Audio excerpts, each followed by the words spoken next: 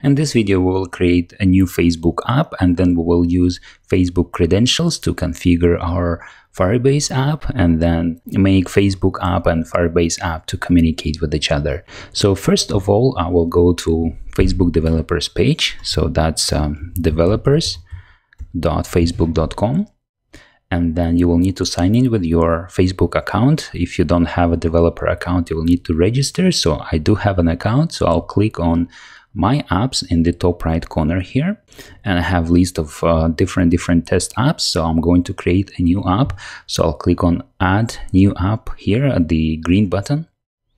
And I will need to give my app a name. So I'm working on music app project. So I'll create music app and then contact email address, create app ID. Let's enter the text they want us. Okay, the new app has been created and I see the app ID here. I will need to use this value. And my next step will be not to add the product from here, but I'll go to settings and I'll click on basic. On the basic settings page, I'll click on add platform button and I will choose iOS and here I will need to provide bundle ID of my Xcode project. So I'll switch back to my Xcode project, select the project from the left side menu, and here under the targets, I'll select target of my project and then general identity. Here's my bundle identifier. So I'll copy it, go back to Facebook app and paste it here. Okay, so now I will also need to enable single sign on and the rest I can leave it. Let's me let's enable deep linking. It's not required for this example, but since I'm here, I will enable this one as well. So I will click on save changes now. The next step is to take this app ID and app secret and copy it to Firebase console. So I'll open the Firebase console in a new browser tab.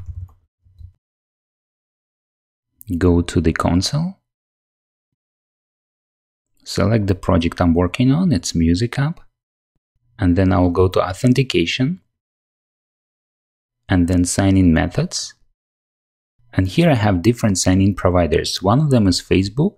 I'll click on Edit, and first of all, I will enable it, and I will need to paste App ID and App Secret into these two fields. So I'll switch back to my Facebook, and I'll copy App ID, and paste it under app ID and copy app secret. I'll need to click on this show button to for it to display. Copy app secret and paste it here. Now I will need to copy this value and I will need to provide it in Facebook app. So I'll click on this button to copy this value to the clipboard and save it.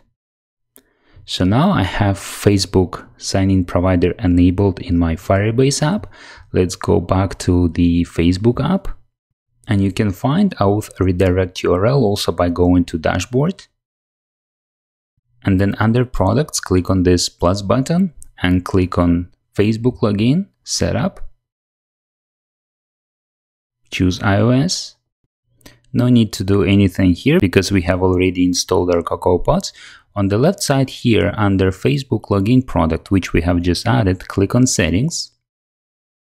And under client auth settings here, we have valid auth redirect URIs. So let's paste the one we have copied from Firebase console. Once you paste this value, we can save changes and we're good to go.